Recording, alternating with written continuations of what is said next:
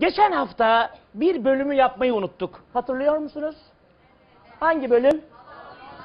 Halamın kutusu. Başka türlü anlamayalım. Yani tahta bir kutu. Ne olur Doğukan öyle bir baktın ki. Ee, duydunuz mu halamla ilgili bir şey? Halamın sorularıyla ilgili. Duyacağız galiba şimdi. Çok da O merak zaman bir ediyorum. şey diyeceğim ya. Halamın sorularına şöyle bir delicesine girelim mi? Halamın soruları bence... Biraz daha hareketlenmeye ihtiyacımız var ha?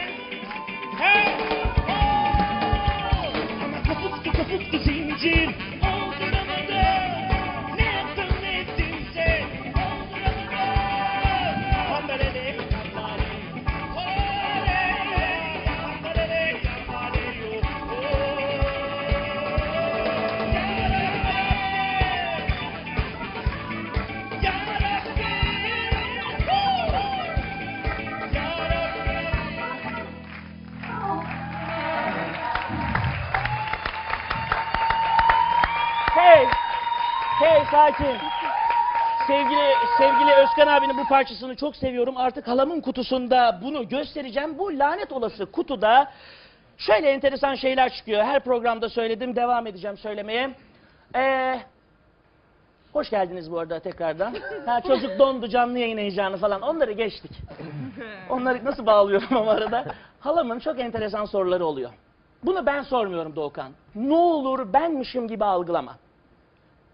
Abi senin halan mı hakikaten? Benim halam abi. Peki abi. Emin misin? Ben bir şeye emin değilim. O zaman senle Dan- başlıyorum Danteli abi. gördüm oldu zaten. Senle başlıyorum. Yok başlamıyorum.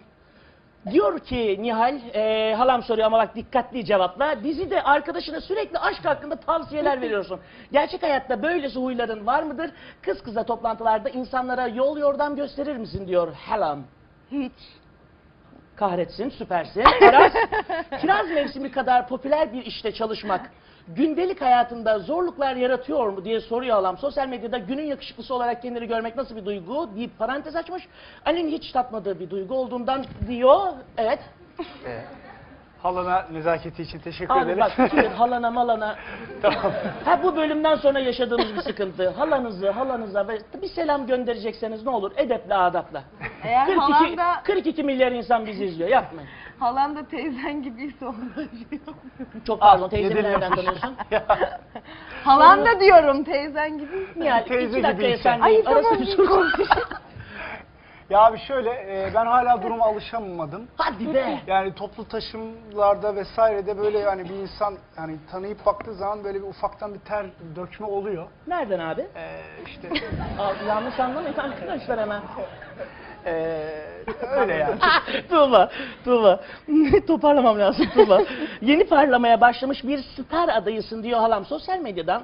Sana çok ilginç yorumlar geliyordur eminim demiş. Ee, ben senin sayfana senle düet yapmak istiyorum yazan birini gördüm mesela diyor. Şimdiye kadar en çok güldüğün ve kızdığın hayran yorumları neydi diyor. Ee, kızdığım bir yorum yok tabii ki. Öyle ilginç bir yorum da yok aslında. Aklıma gelmedi şimdi bir anda sorunca.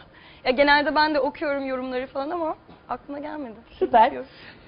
Doğukan. Abi gözünü seveyim adada tuvaletinizi ne yapıyordunuz? Topuzunu nasıl yapıyorsun gibi sorular olmaz. Ha, benim aklıma geldi. Ad- Adada bak- tuvaletinizi baktım. nasıl yapıyordunuz? Saçınızı nasıl topuz yapıyorsunuz? Aynı kişiden mi geldi bu sorular? Yok, yok abi bu en çok karşılaştığım sorular bu. Bir de yemek veriyorlar mıydı? Bunlardan bıktım. Peki Bunlar bir şey olmasın diyeceğim yeter. ya. Kırma bu insanları. Bu 8 milyar insan için bir daha anlatsana. Hadi sor.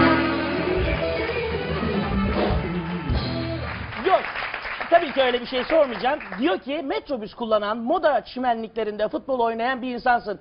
Bu mütevaziliğini, bu içimizden biri tavrını da kimden aldığın belli. Evladım ben seni yerim demiş. Sorum da bu. Yiyebiliyor muyum? Allah'ım ya Rabbim.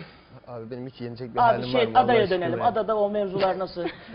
Ciddi ciddi mi anlatayım? Yok abi ya o orada kaldı. Tuğba aşk kıymet bilende mi güzel?